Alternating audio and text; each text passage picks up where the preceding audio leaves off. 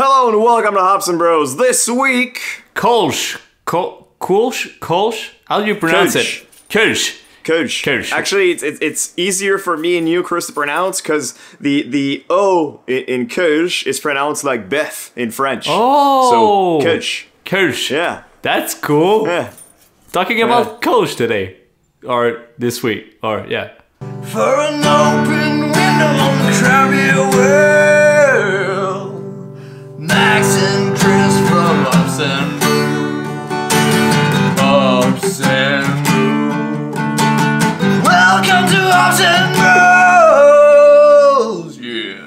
Yeah, so yeah, when uh, so every semester in class we have um, a sensory class where we basically go through uh, sensory analysis of beer. First semester was flavors in general. Second semester is more focus on different style and the BJCP or Brew Judge Certificate Program.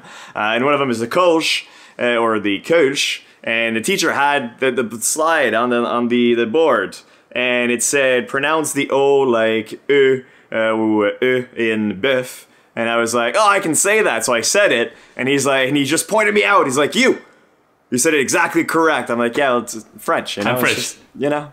I I guess it's a it's another good point for us for knowing French at the same time and doing beer. We, we get all the fancy is, words from Belgians and all that stuff. It's cool. exactly. And but then some other word came up for some other style of beer, and I couldn't pronounce it for shit. So I mean, you know, you win one, lose some. It is what it is. So this week, the coach. The coach, coach, coach. I have a lot of Kolsch. issues pronouncing Kolsch. Yes. Coach. Coach. Yeah, well, I mean, it, it's like the the um, Gose or uh, Oh, yeah. or Uh, goes or whatever, right? It's like a Yeah. kind of beer that people have their own way of pronouncing it. Uh, I don't think there's a wrong way, although technically there is. It's just you know go with what you can say. Yeah, Uh, exactly. don't don't limit yourself to not ordering it because you can't say it. Someone's gonna correct you at some point. Exactly, and you should order it, and you should order it the proper way. Um, but without, before I get into this, um, Kölsch is originated from Germany in the town of Cologne, which is uh, mostly known for their Kölsch. So um, the reason why is because Kölsch is a term, but also a method protected, uh, which with something that's called PDI, um, which means that Kölsch can't be brewed or produced uh, outside of 50 kilometer uh, round circle around the town of Cologne. Um, Yeah, so it's it's an appellation concept, a little bit like you can't have a Trappist beer, uh, but you can have an Abbey beer. So you can't have a Kölsch, but you can have a lagered ale, even though it's going to be the exact same product. even though uh, Kolsch style beer is accepted. So just not call it straight Cool, up okay, Kolsch. yeah, Kölsch style. As long as you have style after it, then it will be accepted. You're saying? Exactly. Okay. So mostly it's a very simple concept. It's really keen to this town of Germany, Cologne. And it's been around for a while, and because of that, people are really, really religious about the way they serve their beer. So yes, I'm not serving my Kolsch properly, but it's not very a real cool Kölsch, Kölsch, Kölsch. Which one are you drinking? Um, the Affenkirsch from uh, Affenkirsch from uh, La L'Envolée from Gallicus, our friend Sammy. So cheers, Sammy. Very good. Oh good. yeah, I, I had that last time I was in uh, Ottawa. Um, It's- it's great. It's actually really nice. It's a little more, yeah. It's it's, it's a little hoppier than most Kölsches that you would have, uh, as as that beer usually is a little more uh, balanced between the malt and the hops. Although some hop aromas will uh, be present, but not necessarily as aggressive. Uh, but no, I, I like that interpretation. I like it. It's it's kind of a It's bottle conditioned too. Like it's it's a nice, good challenge, like a good challenging beer to brew. And Sammy really nailed it on this one. Cheers. Very good. Very good. definitely. Cheers, Sammy. Um, Yeah. So mostly, I haven't served the Kölsch, pro- the Kölsch properly, and uh, the right way to serve the Kölsch is in a six ounce glass that it's made like a cylinder, a little bit like a microphone, really tiny. And the reason why is because they want to uh, preserve their carbonation in the beer by serving smaller portions in those little glasses. And if you haven't add a, a Kölsch in those glasses, it's really uh, mind blowing. It's different. Like you do drink a lot faster, but over there they are trained to fill up your glass as soon as it's empty. That's why you need to be aware to if you're done drinking, Max, what do you do? Well, you put your coaster on top of the glass. It's it's an interesting concept, uh, and and I mean, Germany doesn't half-ass anything. Uh, they want the most quality product. They won't accept any off flavors in their beers, uh, and they want their beers to be as perfect as possible when you're enjoying it. So that's why for the Kölsch in specific, they have this concept. Those those little six-ounce glasses that are, they they constantly, you know, you're empty, you get a new one because they're also known for the big steins, the big like 20, uh, um, 20 liters. No, two liters or whatever, two two, liter liters, yeah. glasses. Um, so it's kind of a, a, a in between those. There's also a big war between ales and lagers in Germany because Germany is known for lagers, but before they were known for lagers, uh, they excelled at brewing ales. Um, so, so the Kölsch is kind of the answer to the Pilsner, uh, trying to get the smoothest flavors from your ale yeast without compromising in some of those nice esters. Um, and it's also uh, yeah, so the, the response to the Pilsner trying to make a, a very crushable beer. Uh, it's kind of weird because within the ages, uh, we've kind of converted all our ales to lagering because lagering is not technically a, yeast strain per se. It's a technique in which you brew your, you ferment your beer cooler.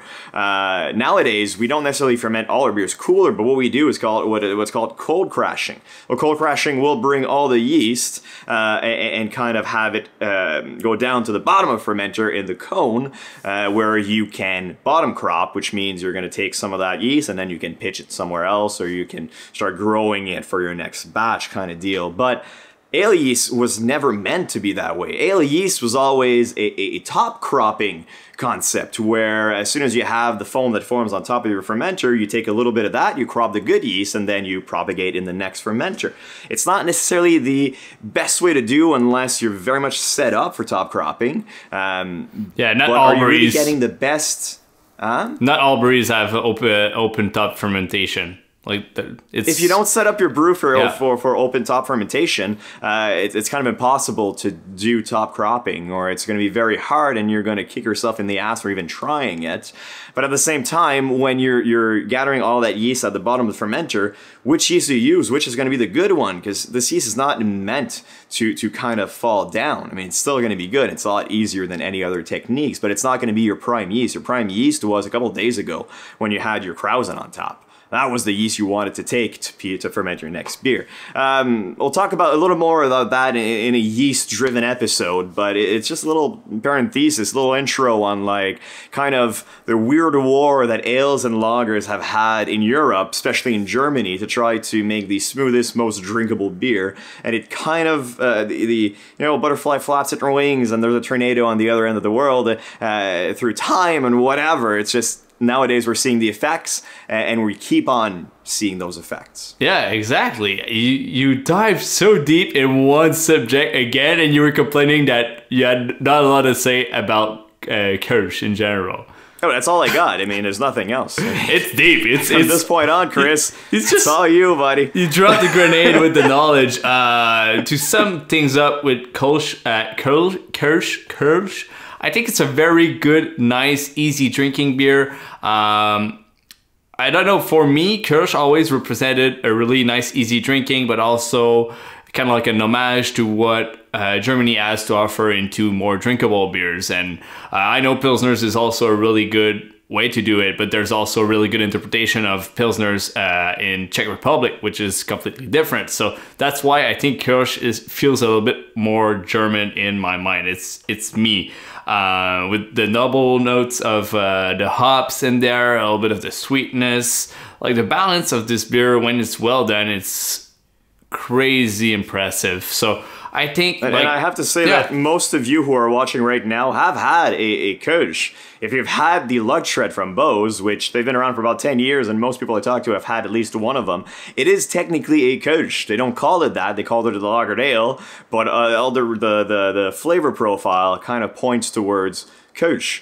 Uh, and it's a great interpretation, if you ask me. Uh, although with the their, concept of being organic, you get kind of uh, different flavors from them that you wouldn't necessarily get from your run of the mill coach. Uh, but yeah, it's, it's a great beer and and as you said, very refreshing. It's a it's a great answer to the pilsner, a great answer to the lager. Uh, you can still have a very refreshing beer that's not intrusive, that's not over estery, uh, and still have an ale yeast. It's uh, it's worth trying out. If you guys out there, whether you are uh, at the other end of the world or right here in Ottawa, uh, there's Kölsch available everywhere. It's I think it's a style that's a lot easier to kind of like move around, and everyone has already drank one. So it's very fun to just dive a little bit deeper into the history behind it, where it came from, but also the science behind it, which Max pointed out perfectly again, which uh, hats off, which I don't have a hot. I know you're sure we've never done this episode before on yeah, Coach? never done that.